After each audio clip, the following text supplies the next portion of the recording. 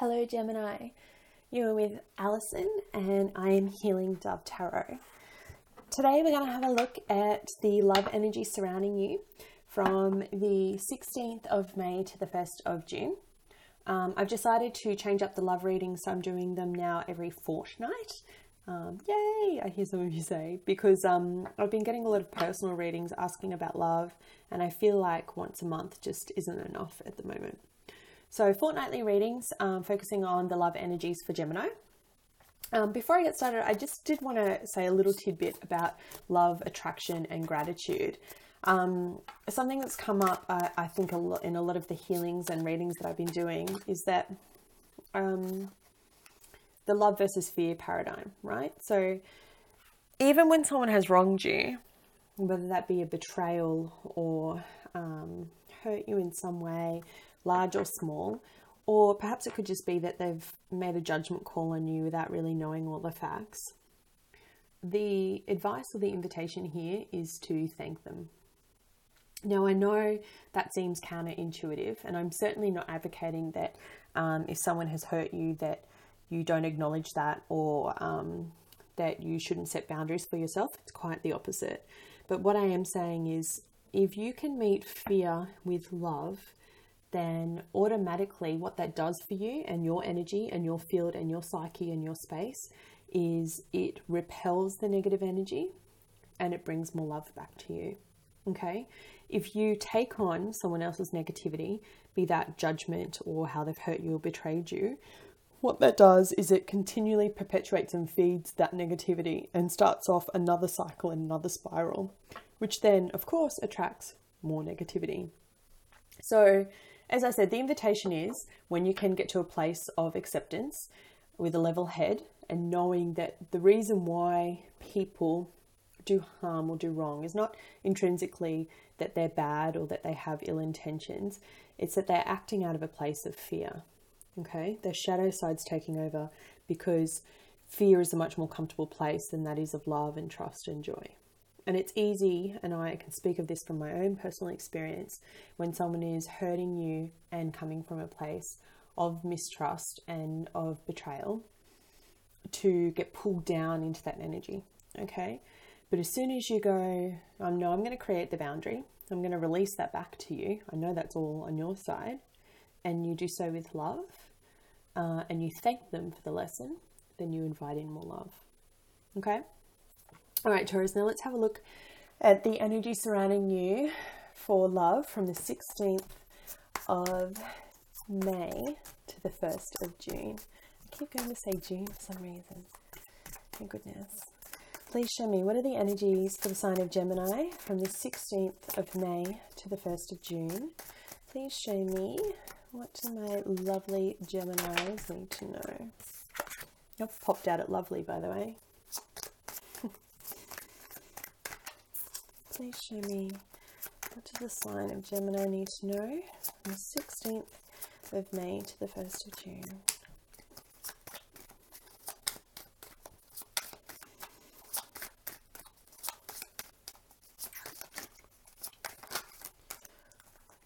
Hmm.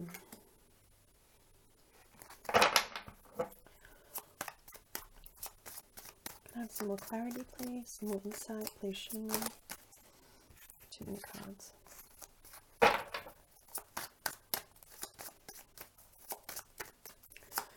Thank you, Universe. Thank you, Angels. A few more cards for the sign of Gemini. Yeah.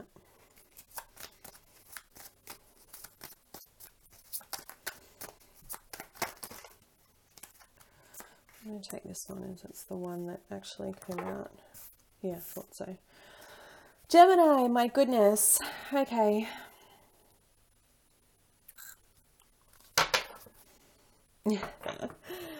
um, all right, some really beautiful energy for you here, Gemini, in love, uh, singles and couples, and those that are estranged. Good stuff, okay?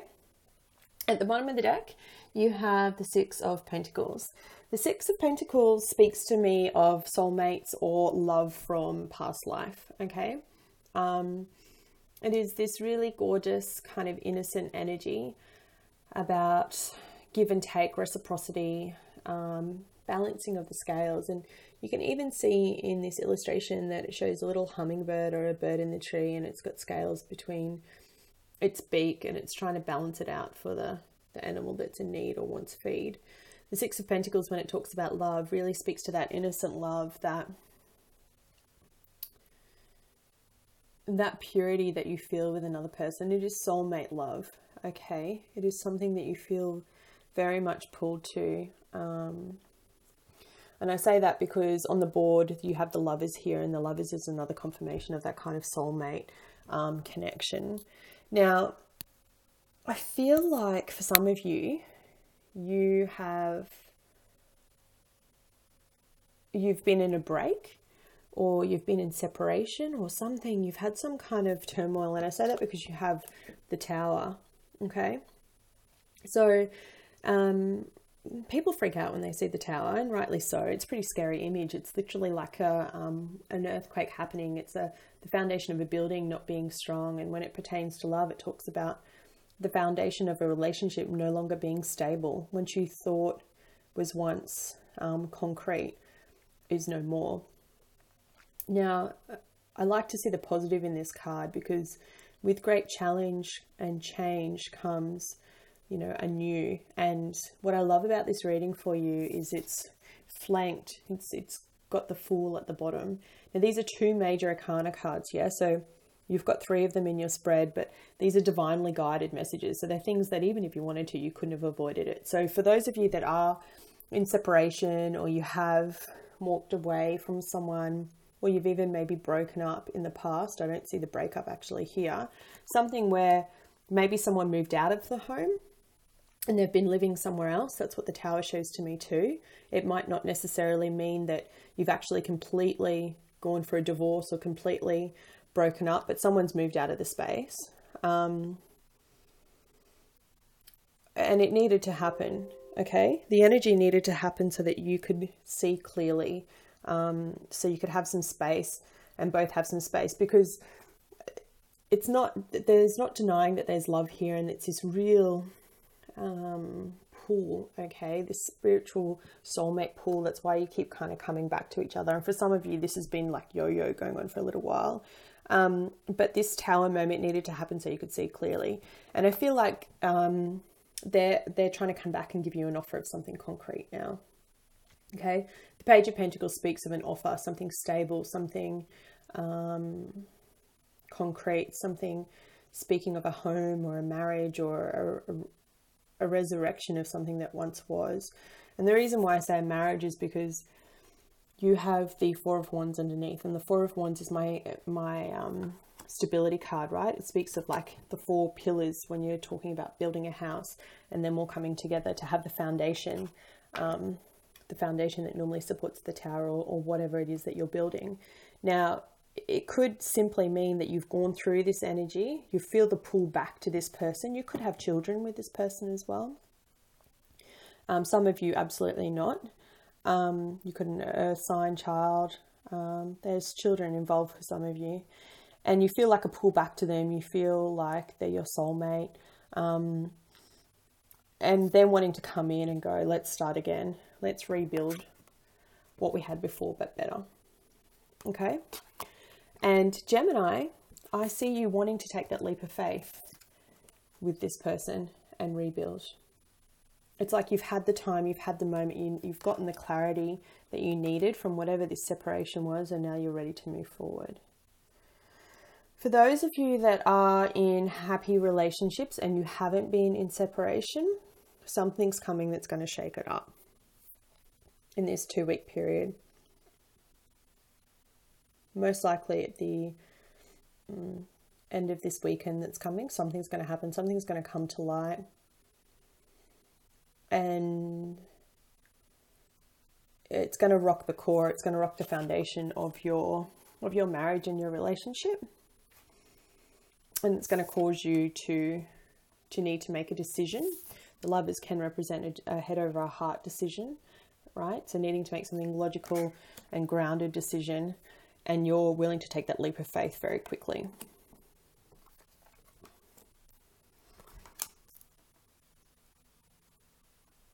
Sorry, but it's coming. just the messenger. For others of you, as, as I said, this has already happened and you're actually looking at resurrection.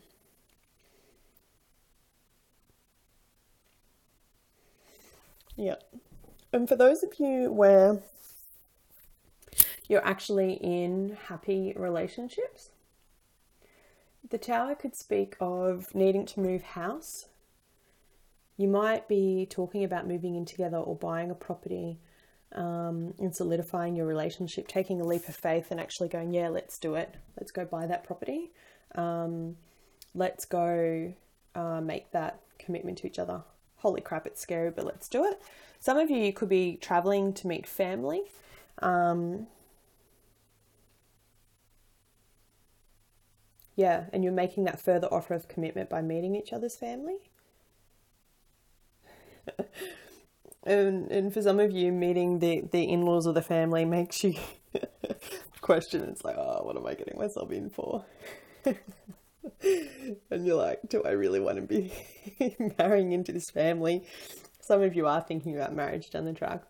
Um, for those of you that have like only been together for a short while, you're already thinking about that. And look, it's beautiful because this connection is a soulmate connection. It is something from past lifetimes. It's really innocent. It's pure. It's not uh, a twin flame um, a connection.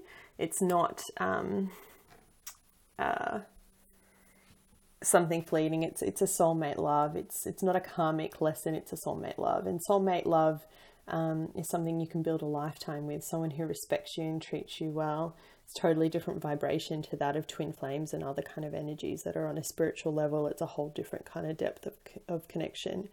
But um, yeah, whichever way it plays out for you, uh, Gemini, I just want you to know that it's going to be a really interesting couple of weeks. Um, I'm excited to see how it plays out. And, and look, if this resonates with you in whichever way, I've given three three different scenarios here and how the cards could fall. Um, someone who's already split from their partner and they're looking at actually building that foundation again. Maybe they're moving back in, and you're going to take that leap of faith and try and reconnect because you do have a child. That's one scenario. Another scenario is that um, uh, something happens to shake up your foundation with someone you've been married with for a long time and you're actually thinking about leaving and you're needing to make that choice. And uh, for others of you, you're traveling or you're moving or, or you're um, thinking about moving in together and you're changing, changing your residence and you're looking at making that offer of love to each other in, in a concrete form, in a materialistic form. Okay. So there's very three different scenarios there. I'm curious to see what resonates with most because I'm, I'm picking up really strongly on two of the energies. So please write in the comments below and let me know if this resonates with you and in what way, because um, I want to get some clarity about what I'm seeing and what I'm I'm reading here. But let's draw for you an additional guidance card, Gemini. It's only a couple of weeks and I'll be back with you again. So I'm really excited to see how this plays out for you. Especially for those that are meeting the in laws and you're like, ah, what am I getting in for? Uh, remember, you don't have to love the family. You have to get along with them, but you don't have to love them, all right? Um, thank you, universe. Please show me one additional guidance message for Gemini. There it is. Four of Wands again. Look at this joy and stability. Beautiful. Really nice card. Um, I love the meaning of this too. Let me find it for you so I can read it to you verbatim. Um, joy and stability, happiness, celebration, sharing, and renewal. What did I say about people coming back together? Yeah. And it says, like a beautiful summer day, this card brings joyful energy. Take a break or a step back just for now from any concerns you may have around matters of the heart. Spend some time in happy pursuits. Find reasons to celebrate with others. Welcome this warm, sunny energy into your life. Aww. Remember the law of attraction and, vi- and high rate of vibration will attract all that you desire. It's what I was saying at the beginning, remember? When you meet fear, so anyone who's wronged you or hurt you with love, then you're going to attract love back. Rejuvenate your relationships by renewing yourself. And it says this card also speaks of a time of sharing conversation. Lovingly open your heart and mind to people. Share your thoughts and, above all, be a good listener. Feel the ebb and flow of energy as you communicate with others. You'll find that this brings increased stability and warmth to your relationships, helping you attract like minded people into your life. Oh, Gemini, beautiful. Um, I hope you found this reading helpful. If you did, please like, share, and subscribe, and I will be back with you um, to do your new moon readings very soon. Thanks and take care.